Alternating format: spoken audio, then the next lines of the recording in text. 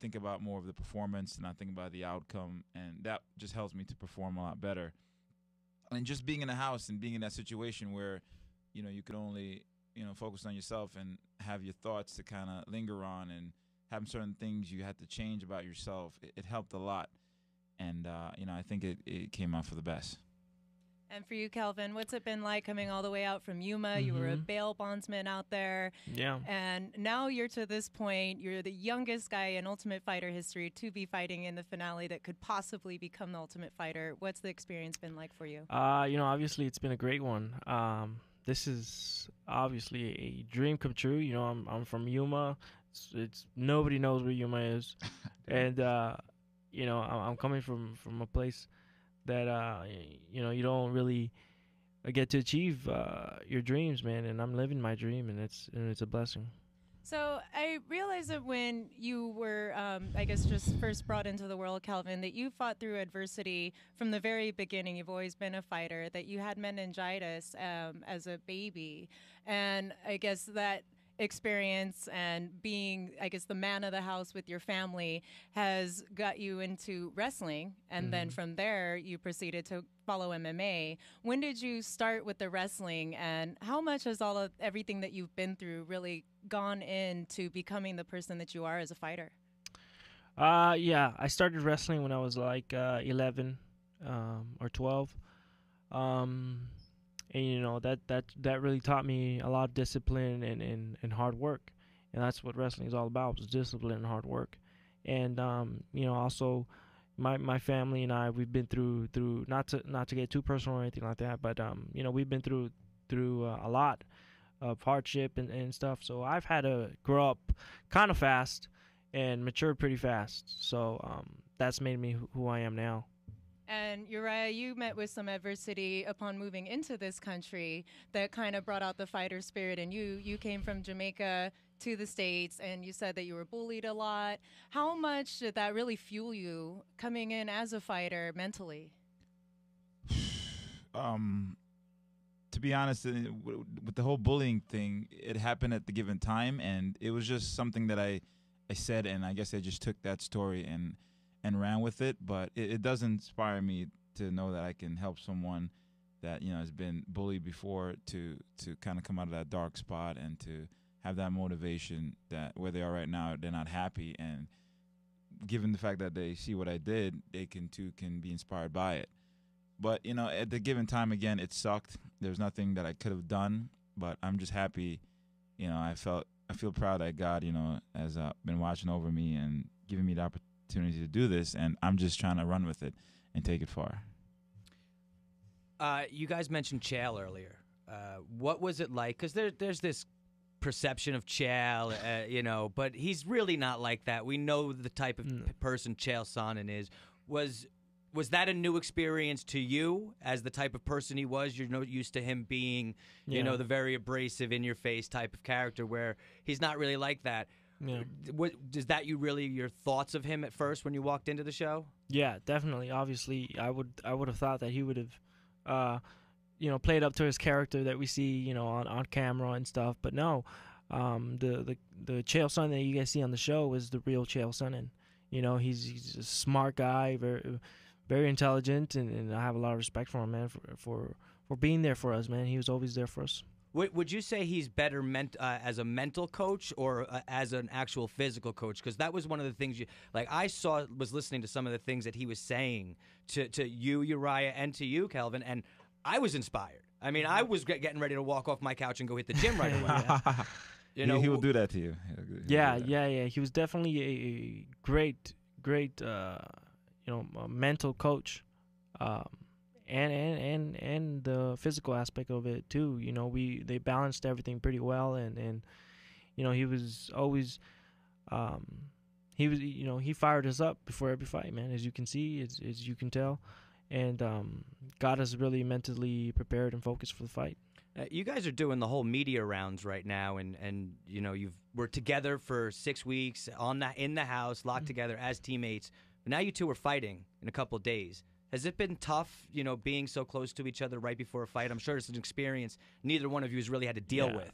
Yeah, it's an it's the first time experience for me. You know, I I I had a pretty good relationship with Uriah in the house, and um, you know, and I like him, you know, so so I have to create um, some sort of dislike for him. and I do. I have to create it in my head and, and, and believe it in my mind that I don't like him for fi- for 15 minutes. I have to believe it you're saying that now, but the funniest thing is that like before the interview was going going on and, and, outside, you guys are hanging out, you're making jokes. No, yeah. You were just doing a freestyle battle. We secretly recorded that whole freestyle. So Uriah was kicking a beat, and, and, and, Kelvin, you gave us the whole Kelvin yeah. G from UAZ. you gave us the breakdown, but you guys seem like good friends. No, yeah, we are definitely. I think what Kelvin's probably trying to say is, you know, when it comes to that time, we have to separate those emotions. We have to put that aside because. Yeah it's business. You know, we, we both knew that since day one we possibly had to fight each other. Yeah. And come fight day, since we both made it, you know, we have to separate those emotions. I really don't have anything against him. I love the guy, and I'm looking forward to training with him after. But yeah. it's just that day we just have to kind of put that aside and go out there and bang. Yeah, it, yeah. it is an individual sport. And it's a, a it's it's new experience. I've never fought anybody that I like or that I know. So uh, it's, it, it's definitely got to be weird, and to see you guys so close to each other and yeah. interacting so pleasantly. Yeah, yeah. I'm, I can not wait to see what happens when that cage door locks on Saturday night. Now, like Kevin, throw a punch. I act like I'm falling. well, that was funny. Even during the standoff, Dana was like, "Are you gonna put your hands up, guys? Come on! I mean, hey, we're teammates. No, yeah." You know? But uh, Kelvin, Heidi mentioned earlier, you're the youngest guy ever on the Ultimate Fighter, and you're in the finals. Do you feel you've got nothing to lose? You, you've already proven a point, or do you still have more to prove? Um, you know, I don't. I don't let myself think that. I I'm here to win that contract. You know, and I'm sure he is too. And and and that's all I can say f- for that.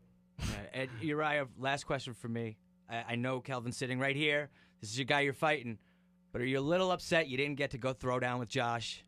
Uh man, in the beginning I was, you know, I was a little upset, like, oh, I wanted to smash him. But again, I was explaining to someone earlier. Looking back, now it's more like, I guess in the given time, you know, all those emotions and all that kind of surfaced, and I was feeling that. But now it's more like, you know, I'm out of the house. I'm, I'm on a better level in my head. So why should I go back to it? And you know, with Josh, you know, he had a plan. His plan was to make it to to the finale. You know, my my plan was to make it there too.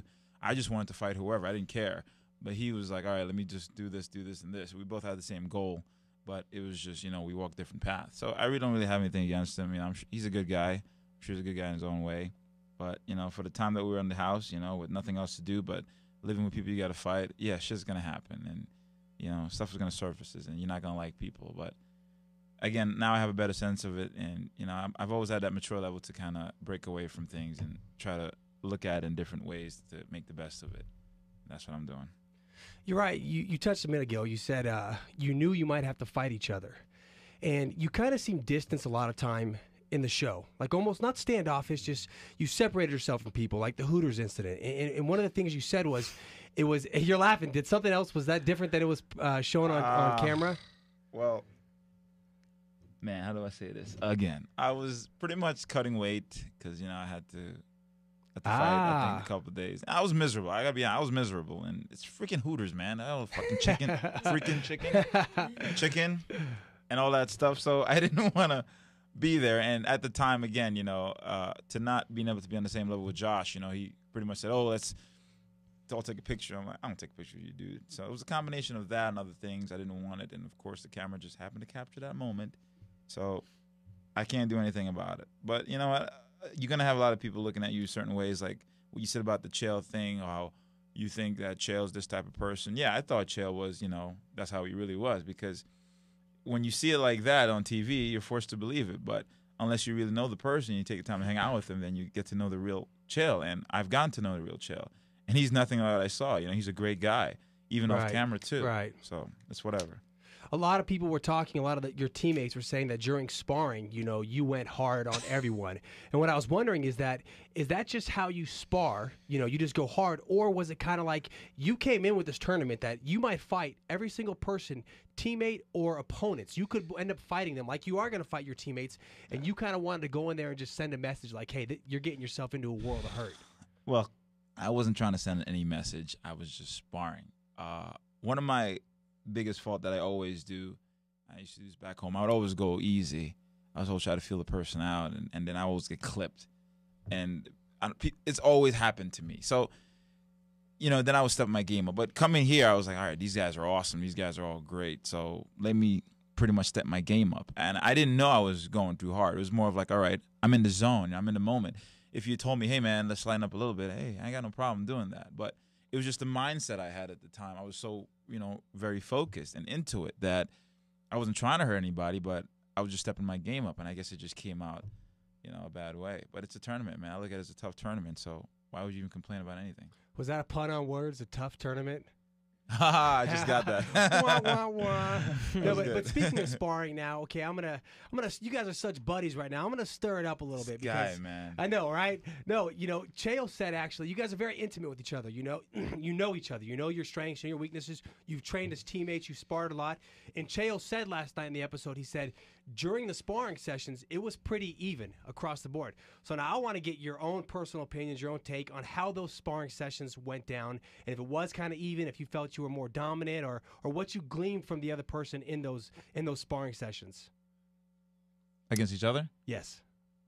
This guy's good. Put you on the spot there. Um, I I know Kelvin is is, is strong, man. I, I roll with them, You know, uh, wrestling is is amazing. His hands has been improving since you know he he since his first fight. I can't really you know underestimate anything because it's hard to pick out any holes in his game because he's so good at anywhere, man. You take him to the floor, he'll fight you. He'll stand up, he'll fight you. He's just constantly growing, and because he's young, you know, he has that mindset where he's like, whatever, you know, he'll go out there and he'll give it 100% without even trying because he's that good and he's on that level, and it's something hard to explain, and I don't even think he realizes how good he is, and I give him props for that. But you know, come game day, you know, I'm just gonna go out there and have fun because for me, I keep saying that because that's the only time I can be myself when I have fun. You know, I, I can't really say I'm better than this, I'm better than than that, because I don't really know the outcome. I really don't. Are are you gonna get into politics? Because that was a very diplomat. Like, I was trying to get some dirt, but that was like a well-timed diplomatic Like that, answer. right? Yeah. Chill All told me that. Kelvin, don't let me down. Yeah, you learned that from Chael. Kelvin, don't let me down, man. Throw, throw some, throw some, throw some uh, sticks Don't on the do it. fire. Don't do it. Uh, no, I mean nothing, nothing too crazy. You know, um, we'd go in there and we'd bang. You know, some of the guys they'd say, "Oh, he's going too hard." Well, that's that's fine. You know, I would, I would go in and step step in for those guys and, and, and go hard with with That's what's up. Uriah. I think that's why we got along. Yeah. so well. So so we went in there, we banged, man, and, and he obviously he got a little bit better on the on the stand up, and uh and um yeah, man, we we would go in there and we'd bang. It, it was it's nothing too crazy, you know. I take him down. Uh, he was he had good takedown defense for sure, and um yeah, man, he's he's good. He's strong, athletic, powerful, and you know there, there's nothing else that I can say about that. You know what's funny is you're saying you re- re- referring to going hard as banging. You know they would like to bang or bang. no, but it's just so funny because it reminds me of the last season where we had you know the clown like let Mm. me bang, bro, Oh, let me bang. And this season was so far from that, and you guys are so far from that. It just took me down memory lane for a second to an unpleasant memory, but then I come back to you guys and I'm like, ah, this is what the Ultimate Fighter should be about. yeah. it's competition, man. Right. But I want to switch it up too. Kelvin, you are bail bondsman. Now, I know that's not quite a bounty hunter, but when I see here bail bondsman, I think of dog the bounty hunter. I think of running and gunning.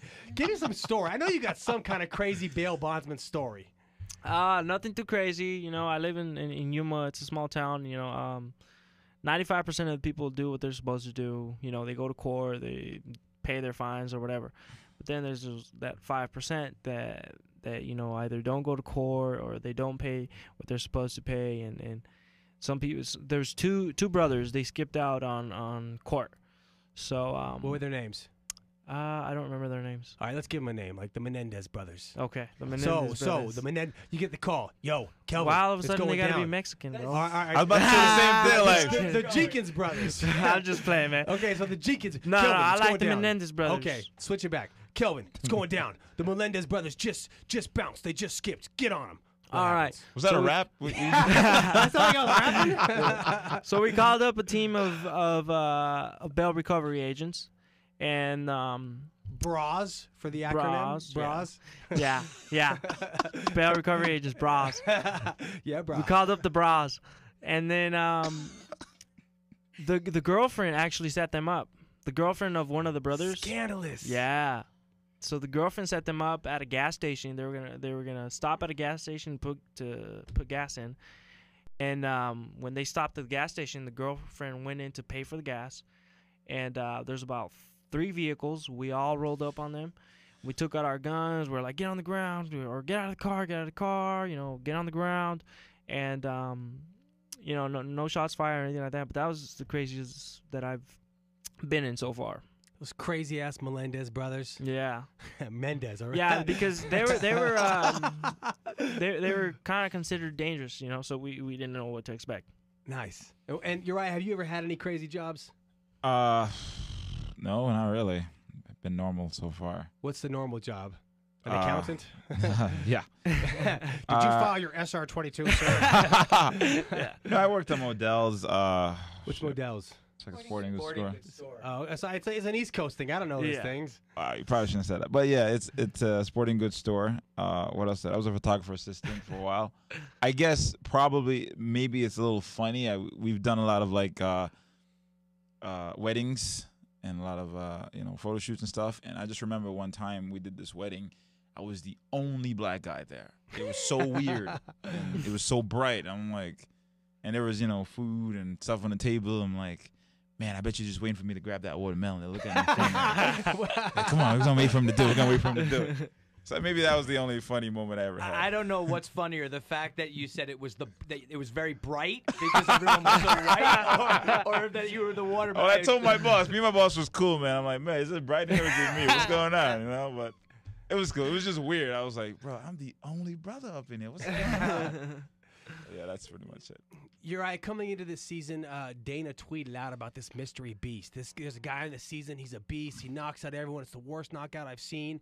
And you know, since then, you know, Dana's definitely been on the Uriah hype train. I mean, every every fight, he's you know, yeah, no, he's like he's your biggest you know supporter proponent. You know, he's sitting next to Carlos Condit. Like this guy's so nasty. You know, and, and, and it's coming into this you know the biggest fight of your career with with all the expectations, with everything you've done. Do you feel a lot of pressure, like, and not just pressure to win, but pressure to perform, to do to do something in devastating fashion? Well, that was always been a, a problem. You know, I felt that I always had to perform a certain way. People tell me, "Oh, you're good. You're this. You're, you you have this amazing da da da da," and you know, I I- didn't see it, especially for a long time. I just couldn't see what anybody was saying, and that's why I brought it to Chael. I'm like, you know, Chael, people tell me I'm this good, but I can't see it. Why can't I see it? And he just brought up a couple of things that made me understood, you know, what was the missing link and what was the problem. And I know right now a lot of people are saying stuff and it's like, oh, what's gonna be next, you know? But I really don't have anything to live up to. I I'm not living up to anybody's expectation. I go in that ring by myself. I'm leaving by myself. I'm not gonna do this forever. And in a given time, I'm just gonna go out there and do what I love to do. You know, perform. If I win, great. If I lose, still great. I, I look at it as a growing experience. So I don't feel like I can lose anything. So I really don't really care what anybody thinks, in a good way. That's a, yeah, that's the great thing when you're competing. Uh, you know, the last thing you need to be thinking about is what everyone's going to exactly. think of 'cause you. It's unnecessary pressure. And don't and you know it. what? The people that love you are still going to love you afterwards. Exactly. Absolutely. Kelvin, same question, but di- the opposite spectrum. I mean, uh, you came into this, you were the second to last picked. Every fight you won was considered an upset. You know, you beat Bubba McDaniel's, who was one of the, the the favorites going in. You take him out. You take out Collin Hart, who was another strong person for for for uh, Jon Jones's team. They thought he was a favorite, and you, you end with Josh Samman, who everyone thought it was going to be. You know, the the the the Uriah Samman showdown for the finale. So literally, you've upset everyone. And coming into this again, you know, you've got Uriah, who was the was the the talk of the town for this whole season, and it seems like there's no pressure on you for this fight. Do you feel like that? Um, you know, I put the pressure onto myself. Really, um, I really want this, and I really want to win. So that that's the, the that's on stake. Is is this is this UFC contract, and that's what I ultimately want, man. Um, but other than that, I, I, I, I don't feel the pressure. No, and and and I feel I feel fine. I've already um, I, I'm living my dream right now, man, and I couldn't be any happier. Well, Nice. guys, we have to get ready to wrap it up, but I do have a couple questions for the both of you before we do get going. First of all, Uriah, I had read that you actually learned about mixed martial arts and fighting from watching Van Damme movies and playing Tekken. Yes. Real Yeah, quick, you true? you told me that. Actually, I met you at the fight to get in the house, and I was waiting in line to get in the bathroom. And you came up a weight line, and I was like, "Man, you had great footwork. Did you box growing up?" And you're like, "No, no, never boxed." I said, "Where'd you Where'd you learn this stuff?" And you said, "Oh, Van Damme movie." and I'm like, "Either this guy's serious or he's just messing with me." I didn't know what to say, but you just fought. You looked amazing. I wasn't gonna say anything. Yeah. It's almost like Karate Kid, where he learns um, how to do karate from the, The book. wax on, wax Yeah. off. Until he finds, until he found his Mr. Miyagi. Well, I didn't have a chance to to really do martial arts as a kid. You know, in Jamaica, there was no like really good surroundings of it. I saw it on TV. I'm like, oh wow, that would be great to learn. And for me, that was my way of learning. I would just emulate. I would just look at it and do it. But coming here, you know, I was fascinated with with with uh, with that fighting game Tekken, and you know, I've always been into martial arts. So it was just a combination. I would just remember playing. And I would just pause it, and I would get up and do it. And no one would see me, of course, but I would just practice it over and over and over again. And you know, it was my way of learning. And then when I finally got into martial arts, it just made it such an easy transition, and it was just so hard for people to figure out because it was like, what the hell? Where does that come from? You didn't expect it, and you know, they, I couldn't tell the teachers right off the bat where I learned it from. They're like, "Would you fight before?" I was like, "No." You trained before? I'm like, "No." I couldn't say, "Hey, man, I was stayed home and played Tekken all day," but it helped me a lot, and I think you know. One of the best ways to learn is visually. You, someone could say something, but it'll go through your ear. But if you watch something, you'll pick it up a lot faster and it was just the coolness of it. I just loved the fact that it was just so cool. And man, if I can do that, I'll be awesome. And that kind of gave me the opening for You it. know who, interestingly enough, also did that uh, with their career was, I believe, Jon, Jon Jones, yeah, I when looked up Look-See-Do. YouTube. That's There what he you go. called it. Look see do. Who was, who There you your go. Tekken ca- character? Jin? Jin. I knew it. I knew it. When you said I love Tekken movie, I said, it's gotta be Jin. It was Jin. There's All a right. bunch of them. All right, that's what's up. And for you, Kelvin, again, we touched on how close you are with your family, and you spoke a lot about your mother on the show. Uh, what would be the first thing that you would do for your family if you do win the Ultimate Fighter? I'm going to Hawaii. I know that. No Disneyland? Disney's overrated. Um, I don't know. I mean, you know, we we we still have p- bills to pay. I guess I would, Take her have out to, to dinner. I would pay the bills, and that's all I can do. Buy buy buy her a new car or something. You know, Hey. do something Awesome. nice What about for yourself? for myself. Get a new uh, phone, bro. Get a new phone. it's all cracked. He does have a flip phone, right? Am I right? No, Flip- No, he got a smart Yeah. I, I I, looked over. upgraded. I looked over. I thought you had one of the, you know, the. toot. no, no. For myself, I'll probably travel around a little bit. You know, I'll you know, that's it. You know, I'll probably travel. Um, Can I come? just yeah, you can come. Nice. and um, and just enjoy myself, you know, and then um, come back home and, and get ready for the next one. I, I just got to say that it's a very interesting story because we're both coming from totally different routes. And I feel we're both living out our dream. Yeah, and you know they're giving me the hype and kevin has just been pulling off a lot of upsets so it's like wow it's so different and where's it gonna meet so I- i'm very excited about this man i can't wait Another cool thing fun. is that you were the second pick. You were the second to last pick. It's just the way it Mhm. worked out. it's destiny Yeah. Well, both Team Sonnen guys here, ready to meet up in the final. That's going to be April 13th at the Mandalay Bay Event Center, where we see Uriah Hall versus Kelvin Gastelum, and one of them will come out the Ultimate Fighter for the season 17 finale. let's get a double knockout Pretty awesome. Pretty awesome. Spin kick and uh, overhand that at the same that time. video Bam. with both of those guys Yeah, knocking would be shit out? Shonie Carter. Shonie Carter is the best thing. The- He was the referee of that. He's the best part. what he didn't know what to do he's like yeah. but we do have to wrap it up here, guys. So thank you so much for Thank coming you on the show. having We me. very Thank much you guys for it. having us. Thank you. Thank you. stay black